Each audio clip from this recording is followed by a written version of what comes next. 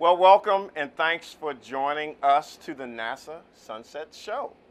We are coming to you live from NASA's Kennedy Space Center, Florida. Well, in a few hours, one of the greatest missions in history will take place. A mission to touch the sun. All systems are go. Launch is scheduled for 3.33 a.m. Eastern. We've got lots of coffee, we've got lots of energy, and we are ready. My name is Dwayne Brown. And I am Karen Fox. And the star of the show, the sun, get it? Because the sun is a star. A star. That's true, it's a star. the sun is about to set, and we are getting ready here for that launch. And we have been talking about the sun the last few days and how Parker Solar Probe is going to go straight to the sun. Today, we're going to talk to you about why NASA cares about that. Okay, I know I care. So, when you look up at the sun and look up at the sun with safety glasses, remember those eclipse glasses? We have some. I hope you guys have some. It looks calm and looks tranquil, but when we get close up with our space telescopes, it's dancing, it's dynamic, it's fury, it's mad, it's going a lot. And when it's doing all of this, it's sending out solar particles all throughout the solar system. It right? is. And these solar particles, they go out, they are affecting planetary atmospheres. They can create space weather near Earth where they can uh, interfere with GPS and radio communications. And so this is something that NASA wants to learn about. And it also, this mission will help with our astronauts, our astronauts up at the International Space Station. When they go to the moon, we're going back to the moon, ladies and gentlemen, and of course, eventually to Mars. All of this and much, much more. We're going to have a great show. We've got some incredible talent. Oh my goodness. And you need to send your questions in to hashtag Ask NASA. Social media is a buzz. Hashtag Ask NASA. We're going to get to as many questions as we can. And we are ready. You send those questions in. Again, hashtag Ask NASA. All right, let us get started we have Dr. Yari Collado Vega here with us. She is a space scientist from NASA's Goddard Space Flight Center in Greenbelt, Maryland. But you know what? I got to say this. I'm sorry. Yari, the last time we were on stage together, it was last year for the total solar eclipse across America. You guys, I hope you saw that. If not, it's on YouTube and it's on everything else, NASA YouTube. It's so good to see you. It's good to see you too. I know you're excited. I know I'm excited about I this am. mission. I'm, I am very am. it's really good to have you here. Thank you for having me. Uh, start out by just telling us what space weather is. Space weather is pretty much the conditions out in space that are dominated by the sun. Like Dwayne said, uh, the sun from Earth is very quiet, but when you look at it from space, it's actually very dynamic. It creates the solar storms in forms of solar flares, abrupt eruptions of radiation, or CMEs, corona mass ejections, which are expulsions of billions of particles from the so solar corona. Um, when these storms actually arrive at Earth, they can cause, you know, instabilities on the Earth environment. Some people see this kind of instabilities in the form of auroras. But when that happens, that means there's a lot, of, the magnetic field is very disturbed. Parker is an essential mission for us to understand this kind of activity. And it's going to go straight to the corona where this originates so we can understand it better. Well, you know, I'm just I'm just so excited that you, you're here, Yari. But you know, the conditions on the sun are always changing. You know, when we did the eclipse, I learned so much about the sun. But how does all of this affect life here on Earth? It can affect it really, really di directly. It can affect astronauts in space, the radiation from the sun, and it can actually affect also satellites, the instruments from the satellites that we use for our technology, radar communications, GPS signal. It can actually affect everything that we use for our technology nowadays. So Parker is going to be essential for us to understand these processes it's going to go straight to the corona. And with that data that Parker is going to collect, we can actually validate and actually improve our models that we use for the space weather forecasting. Wow, this, so this mission is very important. It is very important. And it impacts just about everybody on the planet. Everybody, every society. There you go. This mission is definitely something for you to learn about and do more about because it affects every living person on Earth. So we have our first question that's already come in for you, Yari tell us, the question is, what happens if Parker Solar Probe flies through some of these space weather events near the sun? Well, that would be very interesting to have. And actually, Parker is a engineer marvel. It's actually made of to actually, you know, uh, be protected from this kind of radiation. It has a 4.5 inch uh, um, uh, uh, heat shield that is actually going to protect the instruments from this kind of radiation. And this heat shield is going to be amazing. It's actually the one that is on the side of the sun is going to be at 2500 uh, uh, degrees Fahrenheit, but the side on the instrument is going to be actually at room temperature. So it's an amazing thing, and hopefully we'll get really good data that we actually need with this kind of activity. Thank you so much. We are actually going to keep taking your questions. Uh, you can use the hashtag AskNASA for that. We will continue to take them throughout the show. And you can also get updates on Parker Solar Probe at nasa.gov slash Parker. And of course, most importantly, we want you to get ready to watch this launch. Our TV coverage will start at 3 a.m. tomorrow morning. That's just in a very few hours. and you can watch that at nasa.gov slash live. Well, you know, we've got uh, another person joining us, but I believe, I think we're going to go, you know, this is a big mission, and a big mission needs a big rocket. And we have a big rocket. Yeah, we do. United Launch Alliances, heavy, Delta heavy, Delta 4 heavy. I better get that right because they're going to be mad 4 at me. Delta 4 heavy, but it's big. It's going to light up the night. And you know what else? Another person lights up tonight the night that's sitting us right now. That's Dr. Nikki Fox. We have a star, but she is our superstar here. So, the project scientist for this incredible mission, welcome. Thank you very much. And yes, our Delta 4 has just been, uh, the building's just been rolled out, and she is sitting on the pad ready to take us to space. A big mission, a big rocket, big science. What is it going Big to do? science, big science. So, Parker Solar Probe is going to make huge differences in our science. Um, we've done so much with the sun, from looking at it with all different wavelengths, with spacecraft in the solar wind, even as close in as Mercury. But really, by the time they get to see the solar wind, it's old. It's it's had all its excitement, and it's it's more much more average. And so we have to get into this region to finally be able to unlock the mysteries of what is going on with our star. So I, I want to go further into that because the solar wind is frankly is the theme of our show today, right? I mean, the solar wind it is filling up space, it's affecting Earth. That's what we're talking about. So why can't we study the solar wind from where we are? Why do we actually need to go to the sun to do that? So the corona is full of mysteries. Um, and you really can't unlock those mysteries without getting the in situ data, without actually going up and visiting. All this amazing physics is happening. The corona is 300 times hotter than the surface of the sun. Its atmosphere is continually expanding and accelerating and streaming away, bathing all the planets, and in fact, shaping our entire solar system in its journey around the galaxy. But you have to get in there to really get those physics. Why on earth do you move away from the surface of a hot body and get hotter? It doesn't make sense. It's like water flowing uphill. It shouldn't happen. And so all this physics is happening, but we need to get in there to really be able to take those measurements. And so that's why we're doing this incredibly daring mission to surf the sun's corona. You know, Dr. Fox, um, Jody was here talking about space weather. How is Parker going to help us understand that even better? Because a lot of people, we, we hear about it and it's so important and it affects a lot of stuff. Absolutely. And so we do a very good job of predicting. Um, you know, we see something happen on the sun and we say, well, this is probably what's going to happen here at Earth. And we have models, large scale models. And if you think of taking the sun and the Earth as one big model, there's a big missing piece in that model the physics that's driving and powering the solar wind. We don't know exactly what physics that is, we don't know what processes are going on. And when we add that to the already good models we have, it's just going to be game changing. Thank you. We do have a question for you already Okay. come in as well. And the question is if Parker Solar Probe is going to be millions of miles from the sun's surface, what part of the sun is it touching? So it's touching the sun's corona. It is deep in the sun's corona. Uh, yes, at 3.83 million miles, that may not sound that close, but if we put the Earth and the sun one meter apart, Parker Solar Probe would be four centimeters from the sun. And so, not touching the surface of the sun, obviously, there is no solid surface to actually touch, but touching deep into the atmosphere of the star as it, as it emanates away. I got to, you know, the, the four centimeters. Now, I'm a big football fan. Football season's around the corner.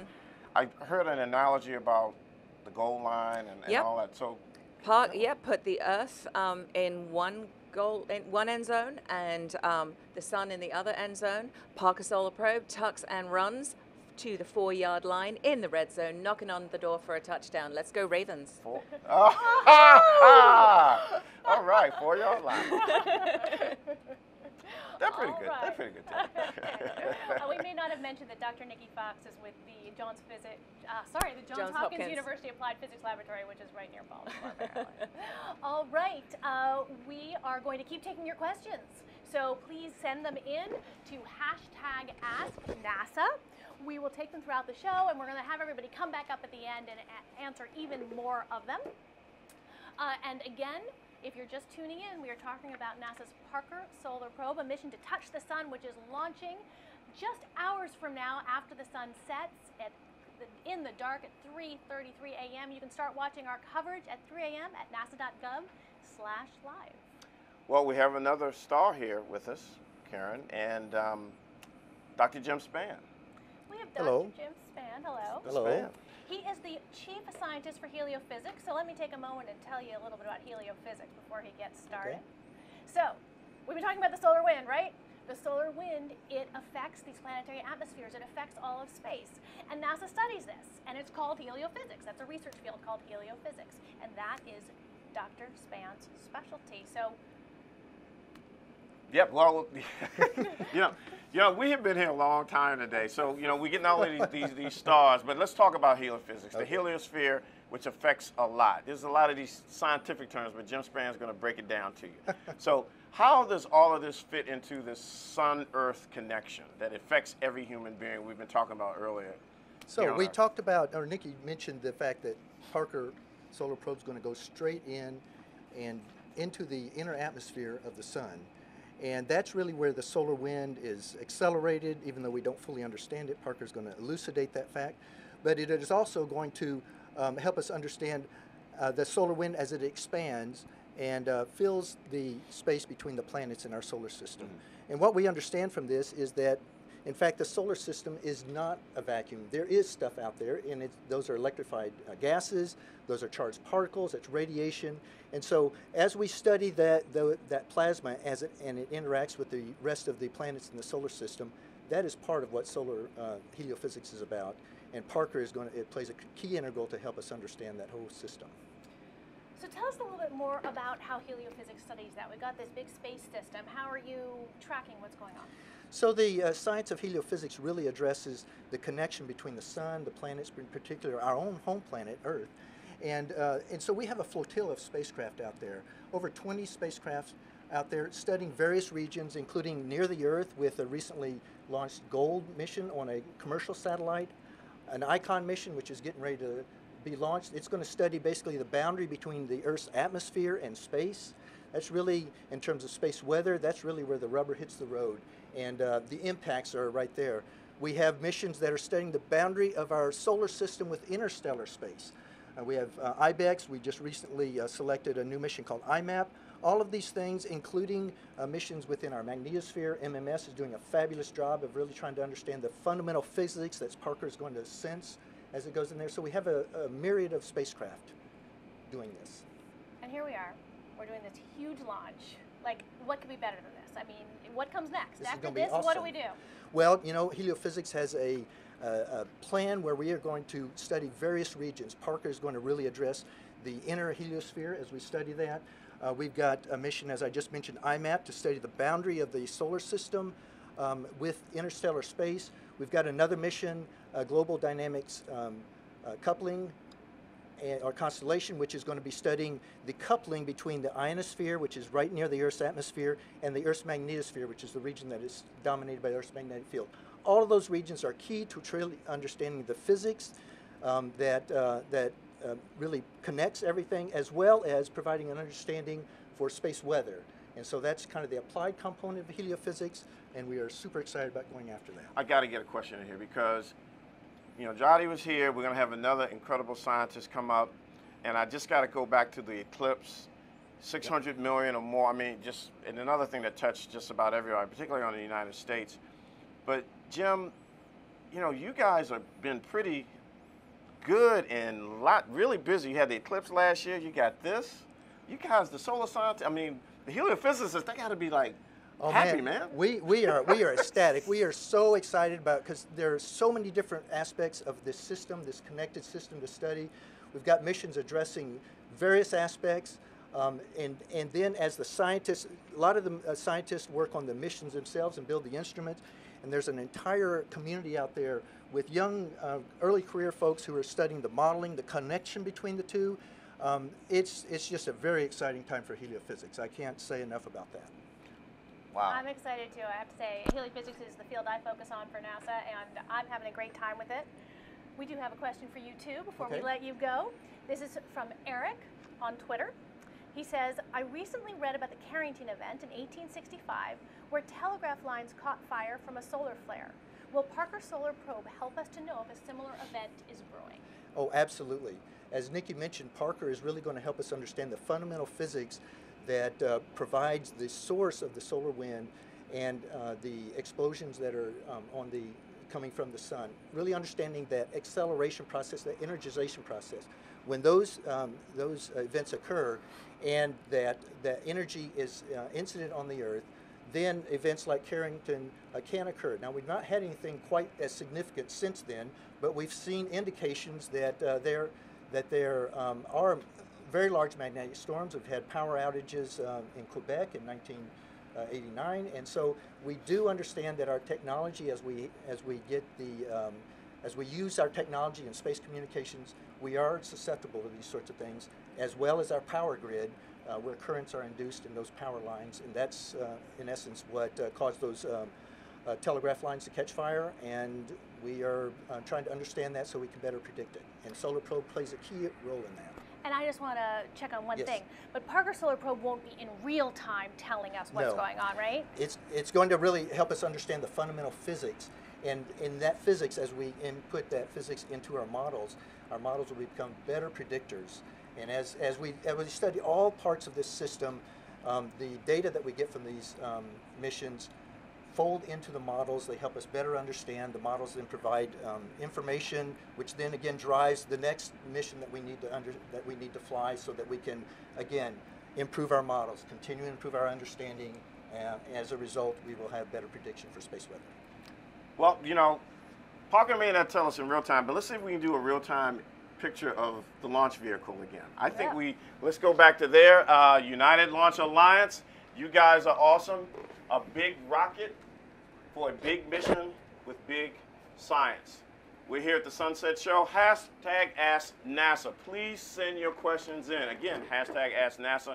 Social media, they are exploding. Bring your questions in if we can't get to them right now. And of course, look at nasa.gov slash live. Check that website out. The launch will be there. You're watching us here on that and much, much more. We are here at the Sunset Show. And oh my goodness, look who's here. Alex Young, Dr. Alex Young. Another Eclipse. My Eclipse alumni. friends. I see you went to the barber like me. That's today, right. There, Yeah. Do the head, the head. There we go. Alex Young is a solar scientist, right? Correct. NASA's Goddard Space Flight Center in Greenbelt, Maryland. He is. You got the shoes on? I do. The man with the shoes.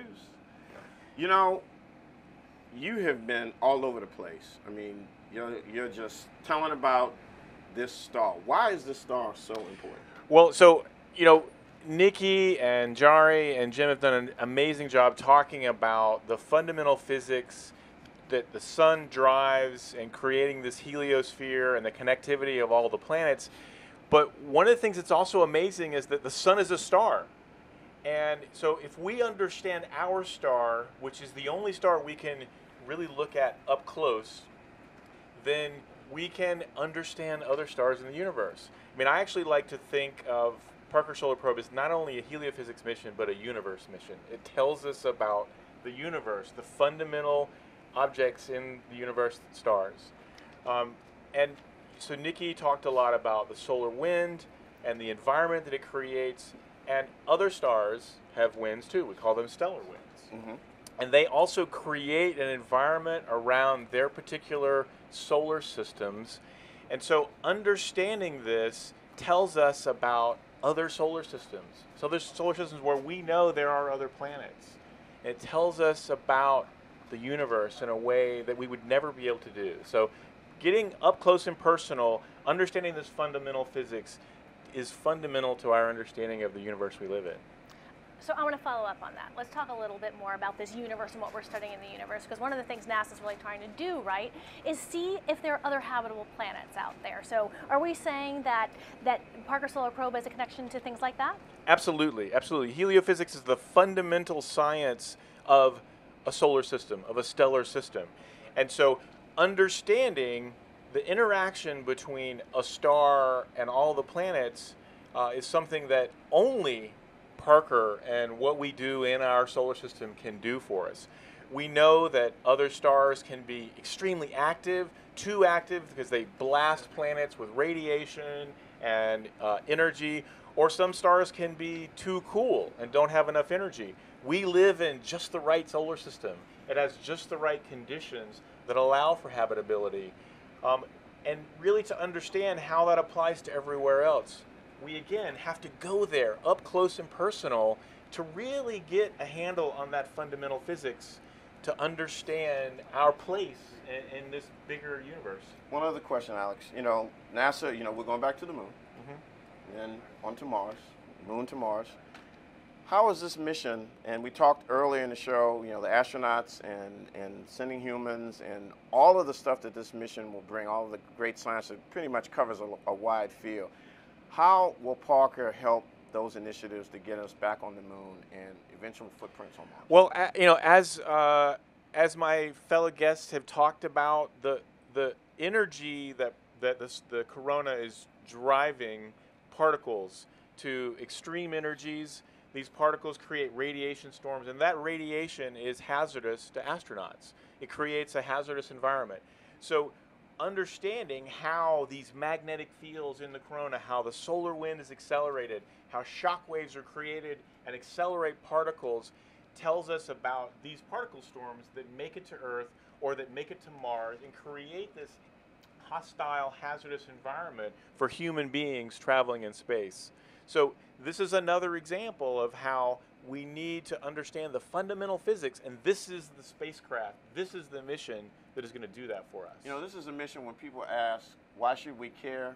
We got a whole bunch of answers. we really we really do and you know this is this is for me and i know for many of my fellow heliophysicists uh, an amazing spacecraft that is you know both honoring an amazing physicist who has done seminal work for his entire career which has laid the foundation for all the science we do on top of the fact that this project is driven by unbelievably talented and amazing engineers who've created this something that people have wanted to do for 60 years and it's going to happen tomorrow morning Right, in 60 years, and you know, the agency is celebrating 60 years. Well 60th it's it's it's an pretty cool, it's right? an it's it's such a great confluence of events. So in 1958 parker predicted the solar wind. We had explorer 1 seeing the radiation belts. We had the beginnings of nasa. We have the committee that decided on what are the the bucket what's the bucket list of what NASA's going to do. And this is it. We are we are filling the bucket you know? And so all of it is coming together in 60 years. So it is a an, an unbelievable year If you're just joining us, we are coming to you live from the NASA Kennedy Space Center, the Sunset Show. And I tell you, the excitement is a buzz. And send your questions in social media. You guys, hashtag Ask NASA.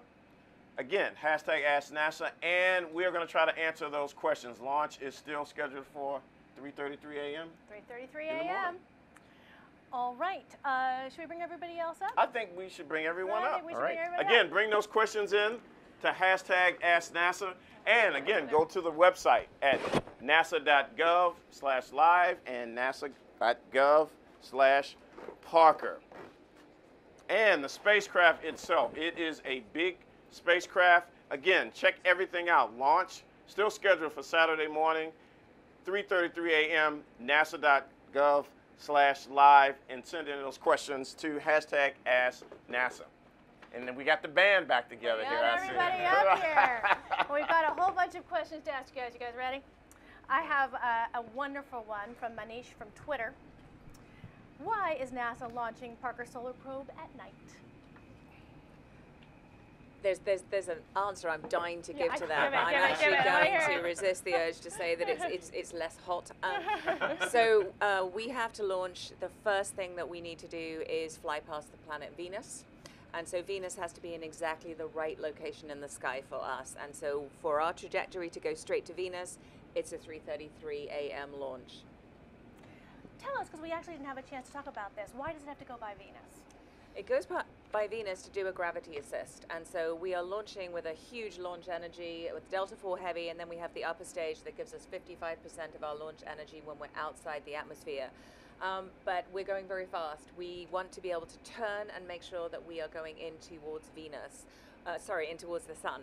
Um, we don't want to be dragged around at all by the influence of the Earth, and so we use Venus to kind of give us a little handbrake turn. It slows us down just a little bit and really turns that orbit in towards the, focuses it in towards the sun. I'm gonna There you go. I'm going to take the microphone this time. All right, this is a question for Alex, standing behind me. This is about the coronal heating problem. Uh, the question is Are our most accurate models of the sun too complex to run on computers? Or is it really that scientists, ex- scientists expect that our models are missing fundamental pieces?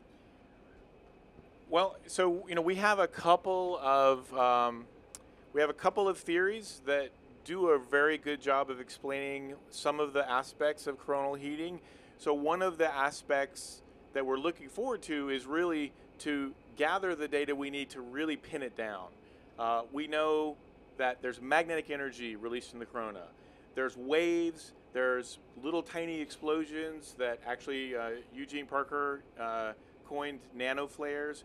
So is it a combination of those? Is it one or the other? What are the details of this theory? So it's it's really a matter of fine tuning the knobs of the physics to understand what's going on. I don't know if you want to elaborate on that at all, or I think you did a great job. okay.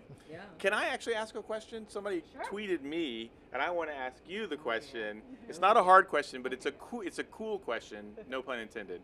Um, why is the corona millions of degrees, but the front of the spacecraft's only 2,500 degrees? So That's a great question. So, 3 billion degree plasma, um, but it's not very dense. It's a very, very tenuous atmosphere. And so, um, there just aren't a lot of particles there to be able to transfer the heat into the spacecraft. Most of our heating comes from the photons from the sun.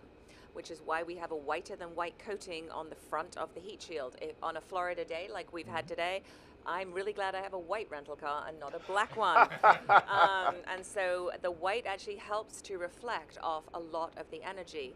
And so th- what actually couples in comes up to about 2,500 degrees Fahrenheit. Um, but the rest of the spacecraft, as Yari noted, is at a very balmy 85 degrees Fahrenheit, a bit like right now. I'm going to follow up on that question with uh, another one from Bargava of Twitter. How does the spacecraft make sure the shield stays facing the sun? She is the smartest spacecraft ever.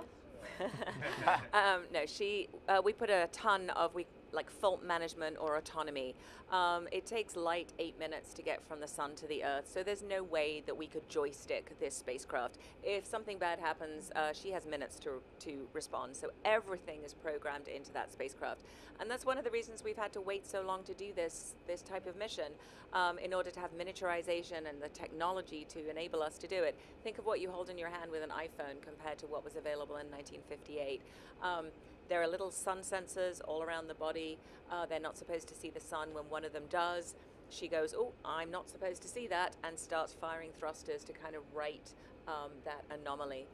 So she's very fiercely independent. Can, can I ask a question? I mean, it's, it's very, it's, it's, it's, it's okay, but I'm good. All right, sorry. I think testing, come on. yes, we're good. I've got to, I've got to ask you, the Parker, Dr. Eugene Parker. I mean, just amazing, right? I mean, Yes, amazing. And I actually got to uh, take him up on the pad today, and he stood in front of that enormous Delta IV Heavy uh, that is carrying his legacy up to the sun. And so it was, it's very, it was very emotional. Um, he is just the loveliest man. I've said in every interview I've done, um, humble, gracious, and forever telling telling people that it's it's other people who deserve the praise, not him. Um, And yet, as Thomas Zurbuchen pointed out, 35 NASA missions have flown that are, you know, really have gone after his science, and that's a huge thing. So having one that bears his name is awesome. And this is the first time this has ever happened, yes, right? this is a historic thing. The first time NASA's ever named a mission after somebody during their lifetime, and it was a lovely moment yesterday when, when Thomas said, you know, and the person that, that it's named after is sitting in the room right over there. It was a very cool moment. A Nikki Fox next. I don't think I will ever. I don't think I will ever do anything as smart as, as Gene Parker, and so uh, I, I, I, I'd love it, but I don't think it's going to happen. well, you're a superstar. You're all a superstar, and I think that. So I've been fiddling with my. You know, I keep saying the Eclipse guys. You know, and I got I got three of these. So, you know, let's let's let's pass these out, and um, we got we got a couple of more here. You know, it's it's the the, the sun is setting, and quite frankly, that, do, we, we have every, everyone have one. yeah, You three. I got one. Okay, now I have one. so, so here's one for it. The sun is setting. For those, if you're just joining us, you've missed a treat, but you'll be able to see replays. This is our sunset show. And a historic mission is going to take place this morning in the wee hours. Launch time is scheduled to start at 3.33 a.m. The sun is setting on a spacecraft, and in fact, this will be the last sunset the Parker Solar Probe will ever see.